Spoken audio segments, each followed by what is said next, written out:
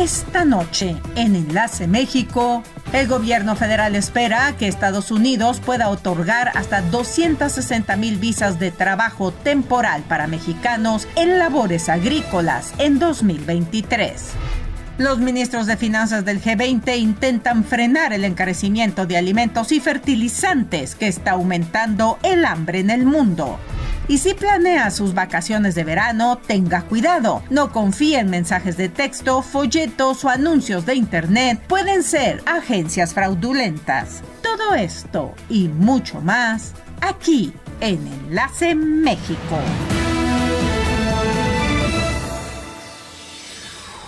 Excelente noche, bienvenidos a una edición más de su noticiero Enlace México. Esperando que estén teniendo un muy feliz viernes todos ustedes, un cierre ya de la semana. Queremos eh, darles la bienvenida a todos aquellos que se enlazan con nosotros a través de Mexicanal y residen en la Unión Americana y son nuestra gran comunidad migrante. Bienvenidos todos y también a todos ustedes que en el estado de Puebla, televidentes y radioescuchas se enlazan con nosotros a través de las frecuencias de C Radio y C Televisión. Mil gracias por permitirnos entrar en sus hogares e informarles durante esta media hora recordándoles que hay que seguir usando el cubrebocas, seguirnos protegiendo, porque los números de contagio están aumentando y, bueno, por supuesto, la historia de siempre, nuevas variantes. Así es que, por favor, eh, utilice su cubrebocas, protéjase, proteja a sus seres queridos y seamos todos muy responsables. No se les olvide que tenemos varias vías de comunicación. Ya saben que eh, pues nos encuentra en el Facebook, en nuestra cuenta en Twitter, nuestro canal de YouTube, que le invito a que se suscriba para que pueda ver el contenido que subimos diariamente y eh, nuestro portal de noticias en lacemexico.tv, donde va a estar muy bien informado. Por supuesto, si le gusta mandar fotos, audios, videos, comentarios, etcétera, use nuestro WhatsApp, el número 22 27 27 25 56. Como todos los viernes, nos vamos a enlazar hasta la ciudad de Washington, D.C. Le damos la bienvenida a nuestra asociada La Voz de América, que llega con información de la Unión Americana y mucho más. Adelante, La Voz de América. Sin un camino claro para impulsar las conversaciones de paz entre israelíes y palestinos, el presidente de Estados Unidos, Joe Biden, ofreció dinero estadounidense como bálsamo mientras visitaba el viernes un hospital en Belén, en Cisjordania. Aunque los 100 millones de dólares propuestos en fondos de atención médica por parte del presidente requieren la aprobación del Congreso de Estados Unidos. El mandatario estadounidense también está anunciando 201 millones de dólares para la Agencia de las Naciones Unidas que va específicamente a los refugiados palestinos, además de cantidades más pequeñas para otros programas variados. Entre tanto, el presidente de Irán Ibrahim Raisi lanzó este jueves una advertencia a Estados Unidos e Israel de una respuesta dura y lamentable a cualquier medida contra la República Islámica. Raisi hizo sus declaraciones mientras que el presidente estadounidense Joe Biden se encontraba en Jerusalén discutiendo con las autoridades israelíes sobre las preocupaciones ante el rápido avance del programa nuclear iraní. Israel reiteró su compromiso de impedir que Irán obtenga un arma nuclear. Por otro lado, Ivana Trump, la primera esposa del expresidente Donald Trump, falleció el jueves a los 73 años de edad. Así lo informó el expresidente. Según detalló el exmandatario, dijo que se entristecía mucho informar a todos los que la querían, que son muchos, que Ivana Trump ha fallecido en su casa en Nueva York. La pareja, que se divorció en el año 1992, tuvo tres hijos, Donald Trump Jr., Ivanka y Eric. La familia Trump también emitió un comunicado señalando que Ivana Trump fue una sobreviviente que huyó del comunismo y abrazó este país, que también enseñó a sus hijos sobre el valor y la resistencia, la compasión y la determinación. Ivana creció bajo el régimen comunista en la antigua Checoslovaquia. Ni el comunicado de la familia Trump ni el mensaje del presidente Trump mencionan la causa de su muerte. Desde Washington, Sofía Pisani, Poste América. Muchísimas gracias a La Voz de América por toda esta información. Saludos para todos ustedes allá en la redacción y nos enlazamos la próxima semana. Y para ustedes, paisanos, nuestra comunidad mexicana en el área de Washington, continúen cuidándose muchísimo, por favor, pendientes de lo que digan las autoridades. Vamos a pasar ahora al ámbito nacional. En este día ocurrieron cosas destacadas que llegaron a los titulares de nuestros informativos nacionales. Aquí hay un recuento de las mismas. Vamos a verlo.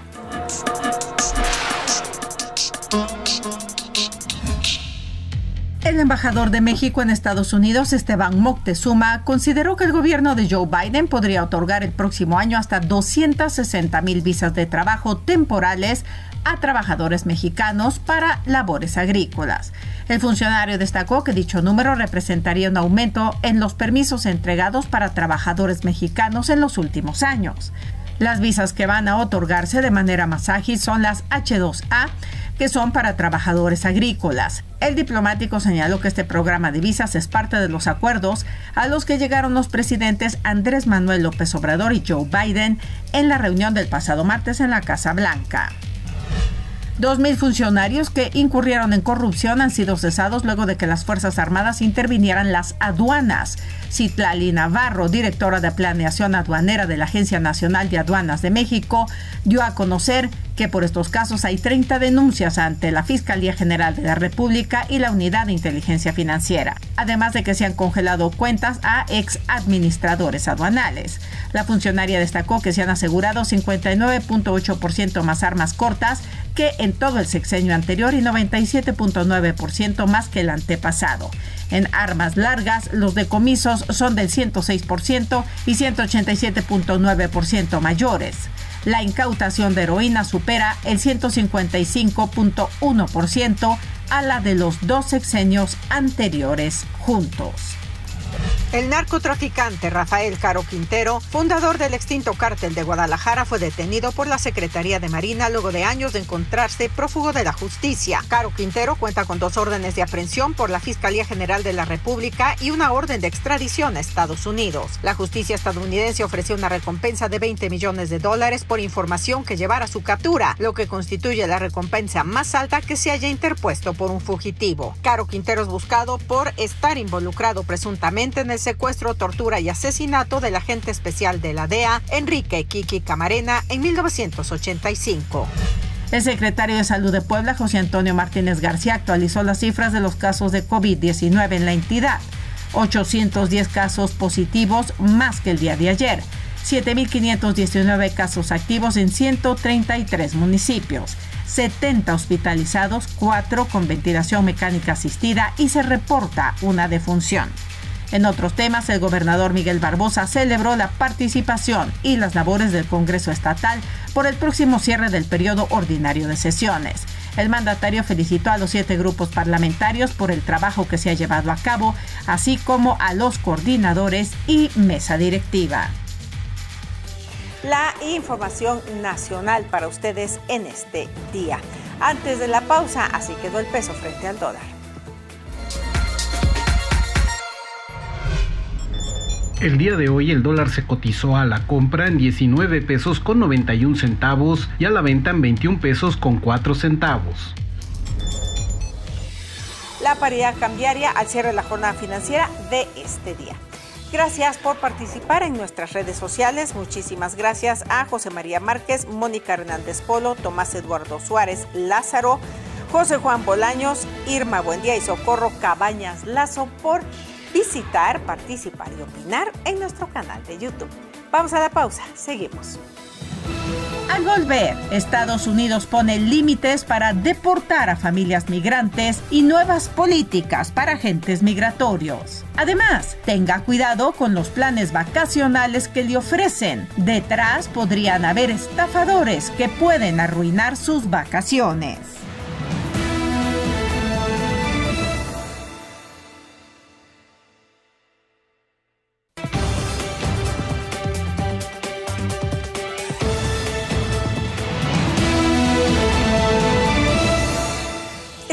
Regreso, seguimos en Enlace México y estas son las efemérides de una fecha como hoy.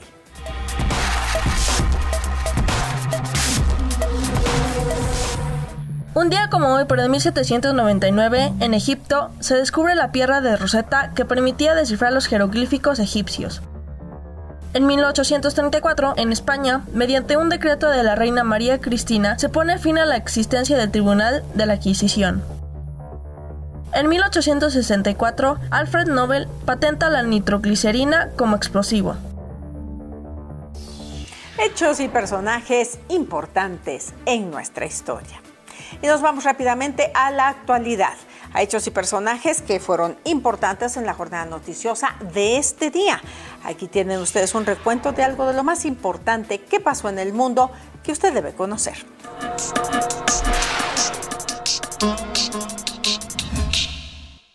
Los ministros de finanzas del G20 iniciaron la cumbre este viernes en Bali, Indonesia, tratando medidas para frenar el encarecimiento de los alimentos y de los fertilizantes, que está aumentando el hambre en el mundo, y responsabilizaron a Moscú del enorme impacto de la guerra en la economía mundial. La Secretaría del Tesoro de Estados Unidos reiteró que Moscú está usando los alimentos como arma de guerra en Ucrania tras la invasión el pasado febrero, lo que está exacerbando en su opinión, las consecuencias de la pandemia del COVID-19 y la crisis climática en la seguridad alimentaria. La inflación y la crisis alimentaria y energética amenazan con empeorar la situación del hambre, que afecta a 811 millones de personas en el mundo, con 276 millones en situación de hambruna extrema comparados con 135 millones antes de la pandemia, según el Programa Mundial de Alimentos.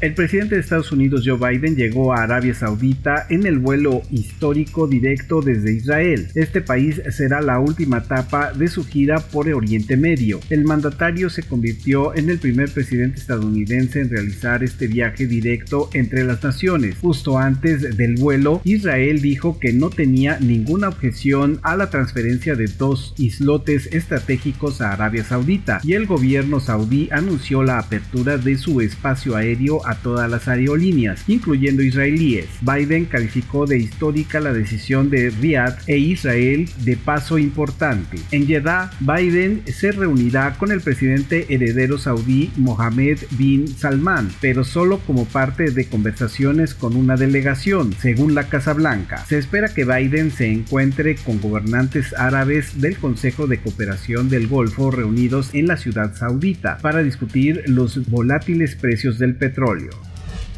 El gobierno de Estados Unidos emitió nuevos lineamientos para los agentes que operan en la frontera con México para evitar la separación de familias. Una directiva de aplicación de la ley de inmigración de Estados Unidos emitida pide a los agentes federales que pregunten a los inmigrantes sobre su condición de padres o tutores durante las detenciones. Además, el texto establece que los inmigrantes previamente deportados tengan derecho a regresar al país de forma temporal para las audiencias de custodia de los hijos. La medida es parte de las acciones de la administración que encabeza Joe Biden para priorizar la unidad familiar y sustituir las políticas más restrictivas del expresidente republicano Donald Trump.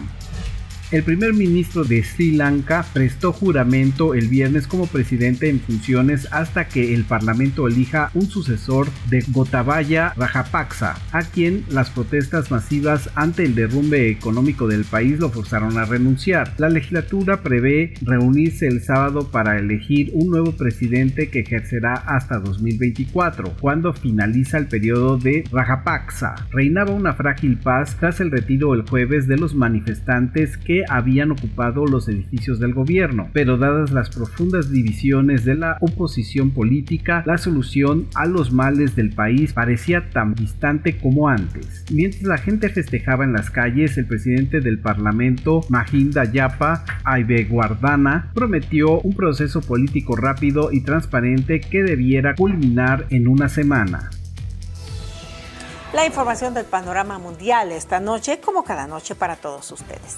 Y vamos a pasar a otros temas y miren que si son temas importantes. Estamos a punto de iniciar las vacaciones ya de verano de todos nuestros hijos y muchos hemos estado preparando un viaje quizá eh, a, a otros estados, a otros países, etcétera por favor, tenga muchísimo cuidado. Hay una proliferación de agencias que son fraudulentas y que le quitan su dinero. Usted sale de viaje y cuando llega a, su destino se encuentra con que no tiene hotel, con que no tiene reservaciones, con que no tiene nada, está ahí en un país extranjero, en un lugar que no es su estado y está en verdaderos problemas. Veamos este reportaje. Cuidado, sus vacaciones podrían convertirse en un martirio si cae en un fraude a causa de algunas agencias ficticias. Porque a través de redes sociales, sí, a través de correos electrónicos, de llamadas telefónicas, se ofrecen diversos eh, paquetes a muy bajo costo.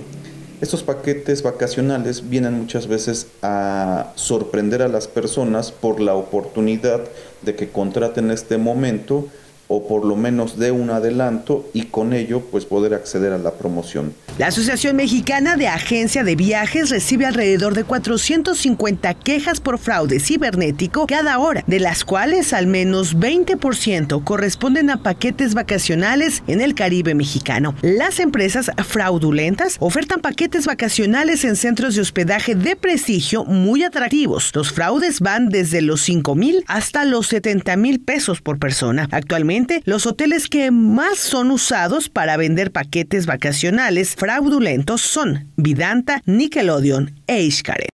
Junio y julio, además de noviembre y diciembre, resultan ser los meses con mayores estafas. Situación que puede evitarse al consultar la página de la Secretaría de Turismo Federal, verificando si la agencia o quien está ofreciendo el viaje está certificado y registrado. Además, corroborar que la empresa tenga oficinas físicas más allá de revisar únicamente sus redes sociales y comentarios. Eh, recordemos que tenemos la policía cibernética, tanto de las, de las Fiscalías Generales de los Estados como de la Fiscalía General de la República para efecto de denunciar y que puedan eh, detener o inhibir que se siga eh, desatando este tipo de delito.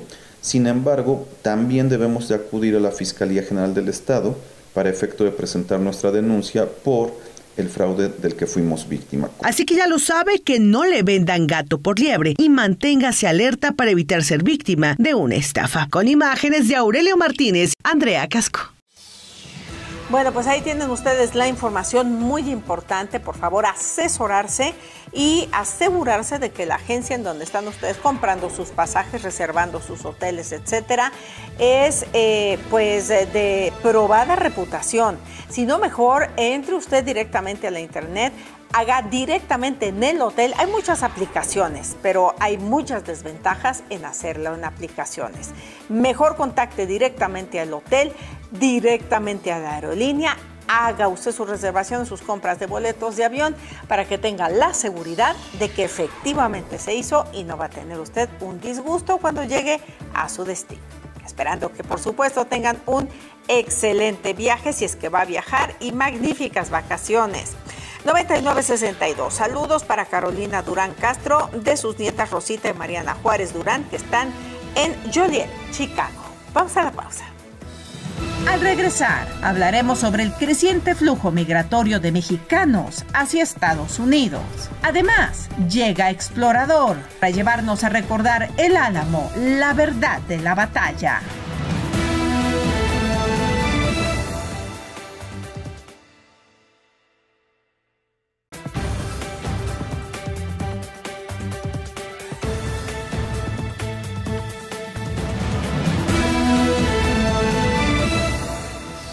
Estamos de vuelta, continuamos en Enlace México. Este es el pronóstico meteorológico para mañana.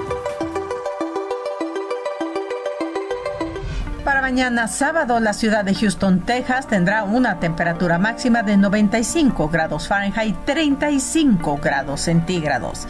Mínima 78 Fahrenheit, 26 grados centígrados. El día va a estar con algunas tormentas aisladas. En Los Ángeles, California, se esperan 87 grados Fahrenheit, 31 grados centígrados como máxima, mínima 66 Fahrenheit, 19 centígrados. El día va a estar mayormente soleado. En Nueva York se esperan 86 grados Fahrenheit, 30 centígrados como temperatura máxima, mínima 73 Fahrenheit, 23 centígrados. El día va a estar parcialmente nublado. En la ciudad de Puebla, 26 grados centígrados, 78 Fahrenheit será la temperatura máxima, la mínima 11 centígrados, 51 Fahrenheit. Esperamos un día con tormentas durante la tarde. La información de las temperaturas en nuestras ciudades, esperando que tengan un excelente fin de semana.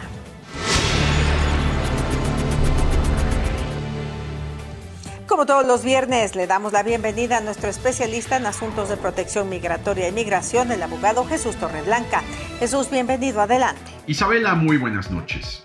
Hace unos días se sostuvo un diálogo bilateral entre el presidente de los Estados Unidos de América y el presidente de México, justamente en la Casa Blanca, allá en Washington, D.C. Y el tema eh, que también permeó esto, además de, de los temas económicos, fue el migratorio. Y no es para menos. Ya daba cuenta la Oficina de Aduanas y Protección Fronteriza de los Estados Unidos sobre los números que se han venido registrando en estos últimos años. Desde el 2019, pues el flujo sí se venía presentando como todos los años, pero era un flujo contenido entre 150 y 160 mil migrantes mexicanos que eran detenidos y bueno, pues otro tanto que sí lograba cruzar hacia los Estados Unidos. Pero creció exponencialmente a partir del año 2021 cuando se registran cerca de las 414 mil detenciones y para este 2022 ya se habla de cerca de 560 mil detenciones de migrantes mexicanos. Pero no detienen a todos, algunos sí pasan, sí logran pasar a los Estados Unidos. Y es que en Estados Unidos hay un factor de atracción muy importante que es los trabajos, la creación de trabajos y que justamente se están empleando a migrantes mexicanos. Sin lugar a dudas, la propuesta de crear ese grupo de trabajo bilateral para poder sentar las bases y del trabajo bien regulado con visas de trabajo hacia los Estados Unidos será un gran éxito para ambos países que permitirá regular el flujo migratorio y darle un paliativo bien importante en este tema del flujo que se está presentando hacia los Estados Unidos. Gracias Isabela, muy buenas noches, cuídense mucho. Gracias Jesús por eh, tu colaboración, como siempre, de temas que son trascendentales para nuestra comunidad migrante. Cuídate mucho, nos enlazamos contigo el próximo viernes. Y llegó el momento de Explorador, como todos los viernes, en voz y presencia del periodista investigador Julián de Jesús Peña, para traernos seguramente recuerdos de nuestro hermoso estado o algún pasaje de nuestro México. Adelante con Explorador. Explorador. La batalla del Álamo fue un conflicto militar entre México y Estados Unidos crucial en la revolución de Texas donde hay más historias falsas que ciertas, pero hay datos irrefutables que destrozan la versión norteamericana. Hoy hablaremos de El Álamo, la verdad de la batalla. Esta epopeya consistió en un asedio de 13 días de duración desde su inicio el 23 de febrero hasta el asalto final del 6 de marzo de 1836 al fuerte El Álamo. Defendido por unos 200 colonos tejanos independentistas, estos fueron masacrados por tropas mexicanas encabezadas por el general Antonio López de Santa Ana. Se ha difundido la falsa idea de que los defensores del fuerte lucharon por la libertad, pero en realidad Texas, que pertenecía a México, quería la esclavitud y la constitución mexicana lo prohibía, no así el país del norte, lo que para México es ausencia, más de los vacíos de la historia nacional, para los estadounidenses es el corazón mítico de sus creencias. Estados Unidos y su brutal expansión territorial es el fondo de esta historia que no es norteamericana, sino tejana, y Texas era México. A pesar de los pesares para los gringos, no es la crónica de una victoria, es la historia de una apabullante derrota que México soberano le impuso a los Estados Unidos. El Álamo es la heroicidad y resistencia de los defensores basados en tres personajes, James Bowie, William Travis y David Crockett. Varios tejanos al quedarse sin balas se rindieron, entre ellos David Crockett, quien fue fusilado. La orden de Santana fue de que no dejaran a ninguno de los combatientes vivo. México ganó la batalla, pero a la postre perdió Texas. La independencia la declararon tres tejanos y 59 no ciudadanos. Se descubren un cúmulo de mentiras en la historia cuando recuerden el Álamo. Explorador Julián de Jesús Peña para Enlace México.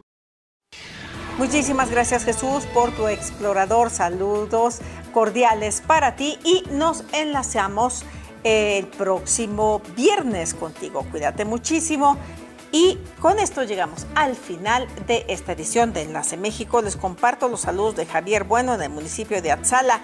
Saludos a sus suegros, Mariana y Filemón Gil Bonilla, que viven en Nueva Jersey. Que se cuiden mucho, los extrañan.